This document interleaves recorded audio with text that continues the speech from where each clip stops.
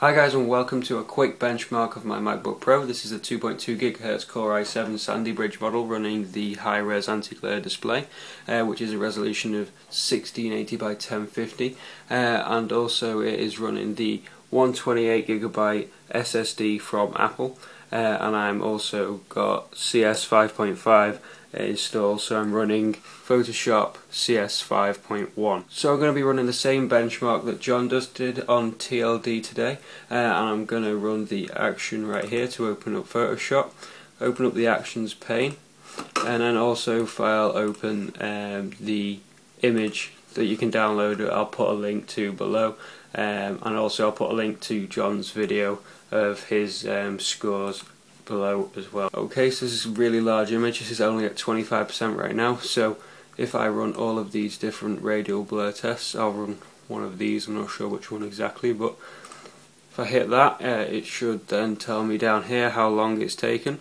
Uh, to get the little timer up, you need to click this little arrow here and then click timing. Uh, the radial blur effect seems to take the longest by far, so that's what it's doing right now. Um, John from TLDToday just got a score of 26.6 seconds on his 2.3 gigahertz model, uh, running an, uh, a normal HDD. Okay, so the score I got is 23.9 seconds, which is a slight improvement over John's score. However, he was running the HDD, and I take it this power came from the SSD and this extra speed. Um, so, okay then, thanks for watching everyone. Uh, I'd like you to check out my channel if you like these videos and subscribe if you can. Um, and I'm going to have the review the Razer Black Widow up shortly and also the SteelSeries Xai mouse. Uh, I'll try and get a review up as soon as possible. Thanks a lot for watching everyone.